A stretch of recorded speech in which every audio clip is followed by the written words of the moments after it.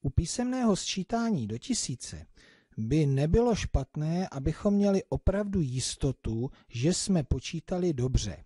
Od toho jsou takzvané zkoušky. Než se do zkoušky pustíme, tak si něco připomeneme.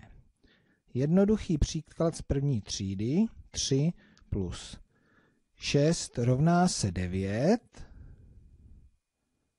protože 9, teď budu odčítat zpátky, minus 6 rovná se 3. A já můžu zase napsat, protože 3 plus 6 rovná se 9, protože 9 minus 6. Oni prostě sčítání s očítáním se doplňují. Já to můžu napsat pod sebe, když už děláme to písemné sčítání.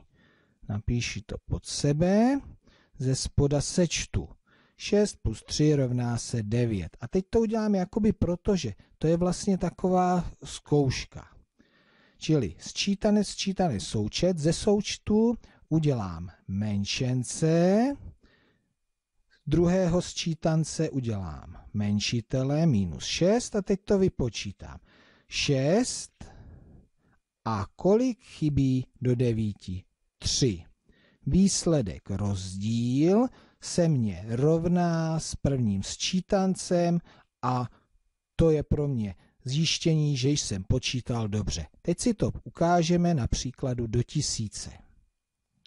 Takže příklad 485 plus 213. Vypočítám. 3 a 5 rovná se 8. 1 a 8 rovná se 9. 2 a 4 rovná se 6 zkouška 698 minus 213 vypočítám jako odčítání. 3 a kolik chybí do 8? 5. 1 a kolik chybí do 9? 8.